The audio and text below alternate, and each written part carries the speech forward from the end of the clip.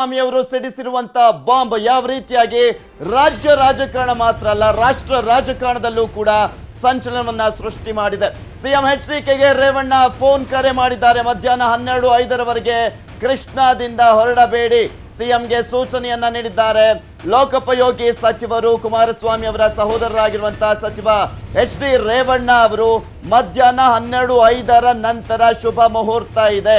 So ಹೀಗಾಗಿ ಆ ಸಮಯದಲ್ಲೇ ಕೃಷ್ಣಾದಿಂದ ಹೊರಡಲು ಸೂಚನೆಯನ್ನ ನೀಡಿದ್ದಾರೆ. ಸಿಎಂಗೆ ಸೂಚನೆಯನ್ನ ನೀಡಿದ್ದಾರೆ ಸಚಿವ ಎಚ್ ಡಿ ರೇವಣ್ಣ ಅವರು.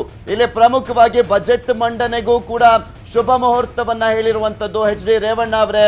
ಈಗ ಮನೆಯಿಂದ ಹೊರಡೋದಕ್ಕೂ ಕೂಡ ಶುಭ ಮುಹೂರ್ತವನ್ನ ಹೇಳ್ತಾರೆ ಹನ್ನೆರಡು ಐದಕ್ಕೆ ಕರೆಕ್ಟ್ ಆಗಿ ಕೃಷ್ಣಾದಿಂದ ಹೊರಡಿ, ಅಲ್ಲಿಂದ ಹೊರಟು ವಿಧಾನಸೌಧಕ್ಕೆ ಬನ್ನಿ ಅಂತ ಎಚ್ ಡಿ ರೇವಣ್ಣ ಅವರು ಸೂಚನೆಯನ್ನ ನೀಡಿದ್ದಾರಂತೆ ಕುಮಾರಸ್ವಾಮಿ ಅವರಿಗೆ.